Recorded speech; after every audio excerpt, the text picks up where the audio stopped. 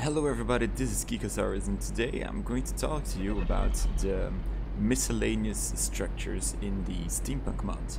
Um, basically I define miscellaneous as um, all the structures except the building structures, the, uh, the crafting and the refining stru structures.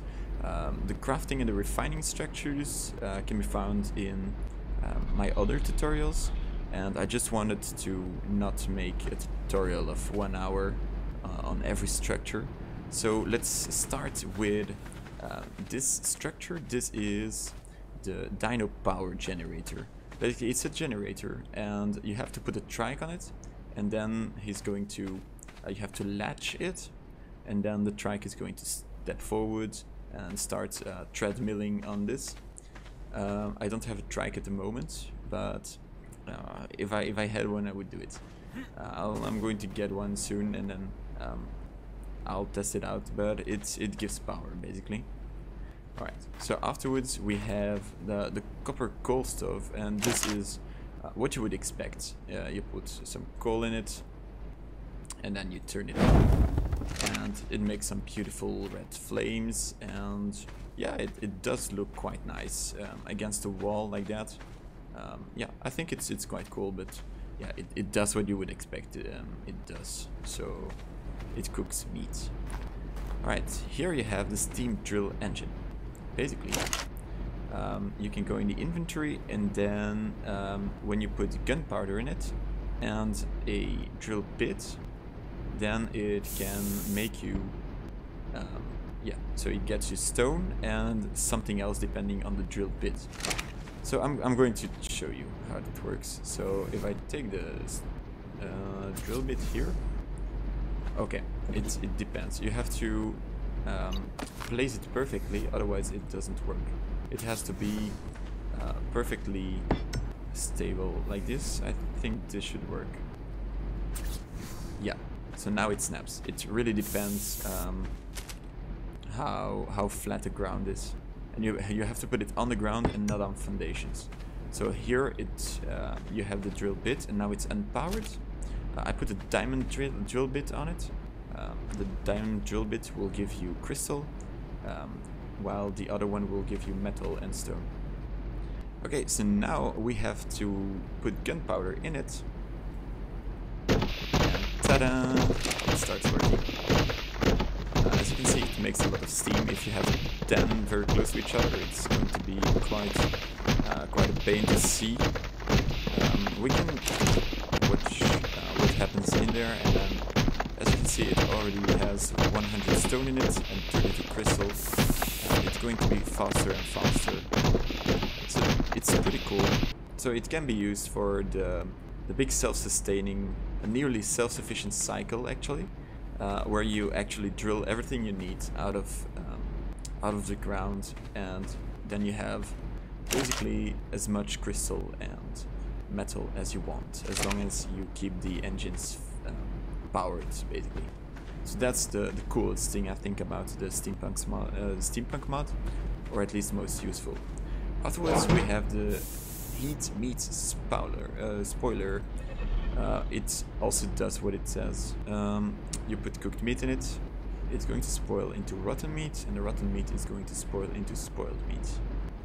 As you will see in two seconds, yeah. So one cooked meat gives apparently two spoiled meat and then um, it, it goes like this. It's, it's really straightforward how it works.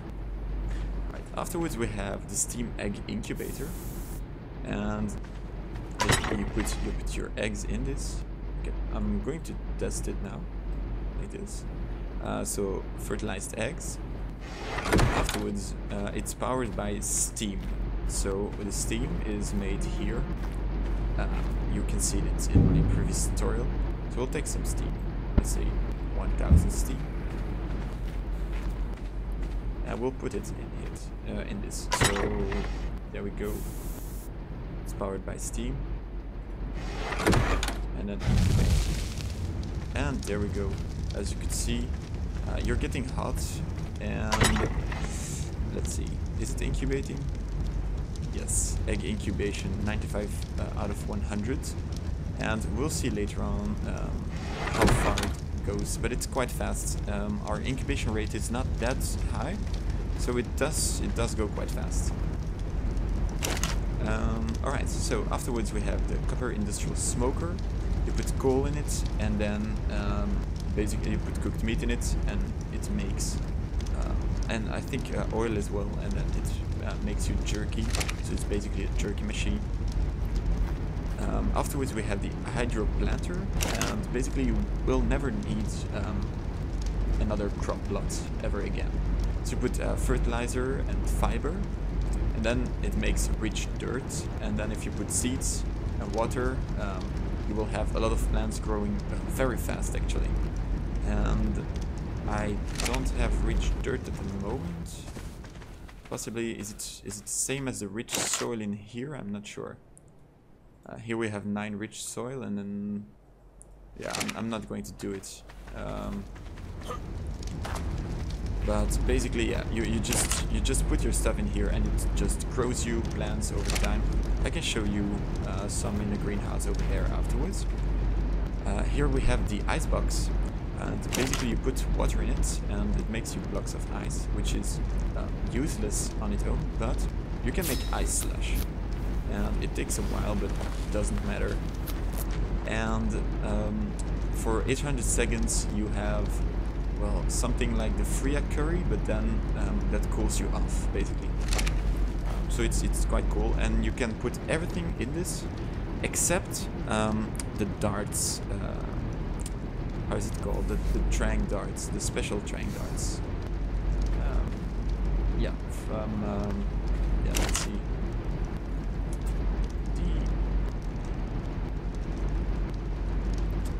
these guys. Shocking tranquilizer darts. So these ones can't go in there. I, I thought it would be might be useful information for you. But everything else um, gets into this and it's uh, even better than a normal fridge. Afterwards we have the steam pot. This is this is just the same as a normal pot. You put refined oil in it. Um, you can learn how to make the refined oil uh, in another one of the tutorials. And then uh, you light the fire and poof. You can also make boiled dinosaur eggs, which is just with dinosaur eggs, and then you can make um, unique kibble. Basically, it works as uh, the, the, the, ultimate kibble. So uh, you put it in any dino's inventory and it works. And it will tame it perfectly. So that's, that's quite cool. Alright, uh, we're going to go check the in incubation now. Oh, it's still not fi not finished. So uh, it does take a lot of steam. I, I don't know if you saw it. Uh, first I'm going to show you the um, the hydro crop As you can see here, you put fertilizer in it, and then uh, if you have rich soil, normally, oh, and fiber as well. Alright, and here we go. As you could see, uh, it's used four rich soils, and we made 15 rockarrots, 15 savoroot, 15 longrass, and 15 citronal because uh, we have all of these seeds in there. And it spoils only in four hours, so that's quite cool. get first. So that is um, the hydro crop plot, and then there are two other things, or three other things that I need to show you. Uh, first of all, the steam outhouse. This is this, and basically it's a toilet. So you can sit on it. And... Oh yeah, you have to poop. And if you poop you feel refreshed and stuff. And uh, I think it gives you a slight XP boost. I'm not sure. So um, um, let's let's just try it out. Let's try to poop on it. So we're sitting on it, and then we press defecate. And we're not ready to defecate. Oh yeah, okay. We did it. We pooped. And here we are. We have like a, a poop buff um, in the bottom right corner. And basically that is it. It's it's just fancy, actually. Alright. Then we have the... Oh, it's, it's a little bit bugged. Uh, then we have the uh, copper AC. Uh, it's just air conditioning power down. You don't need any source of energy, you just power it on and as you can see here in my stats, um, the insulation is quite high. So you can use that to uh, make your uh, babies as well, so to incubate your eggs as well. It does make a lot of noise, I'm going to power on. And finally, last but not least, there is the teleporter. Oh, and also the um, cryo chamber. Uh, so these two are very important. Um, so the cryo chamber, there's a slight bug with it, uh, that this is personally owned, apparently. But if you sit in it, uh, now it's not going to do anything. But if you die and uh, you use it, you get all your stuff back. Um, I might, yeah, I might try it out, but it's you, you just have to, to click on it and then you get all your stuff uh, in your inventory back and it's quite useful. And then last but not least, we have this guy, and this is the teleporter. So basically, basically, um, you can teleport. Um, if you put another teleport uh, teleporter, you can teleport there. And yeah, let's do it. It closes. I can't move. Um, yeah, now I can move and poof. Of course, it's um, it lags a little bit. It fucks everything a little up, but uh, eventually we arrive at the other base. And here, this is the, jungle dungeon base. Um, and yeah, that's how it works. And it is powered by a teleport matrix. Let's see, can I um, can I check the inventory? Yeah. So you have to put a power matrix in there and it has uh, unlimited power. And apparently you can also put a trophy in there. Um, I'm not quite sure what that is. I guess normal trophy. Uh, we're going to go back now and check the uh, hatching of the the dinos. Uh, teleport. And then you can teleport home. And as you can see here, uh, in the bottom right corner, you are tired for uh, for a little while, and I think you get thirsty as well or hungry. It's it just takes your it drains your stamina. And now we can teleport back to the home base.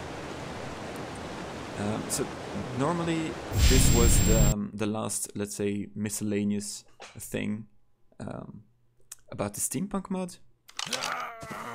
Oh, yeah, of course. Um, it leaves you starving and you can't run. And I'm also stuck.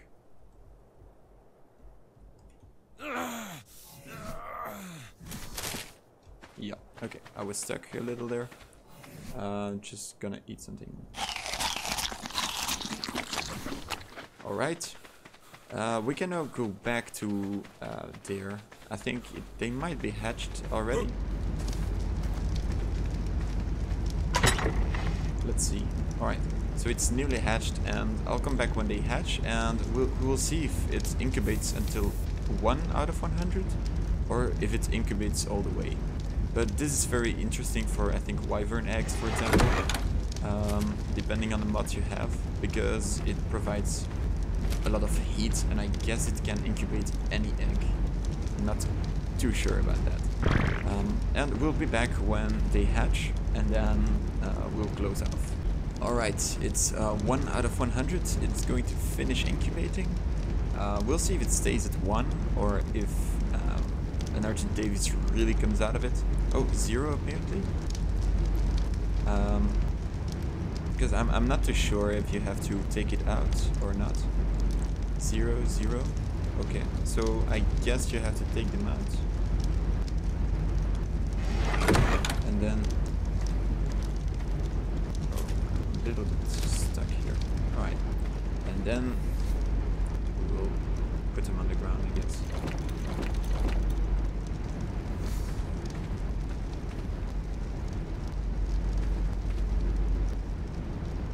Uh, it goes to 0.1 apparently.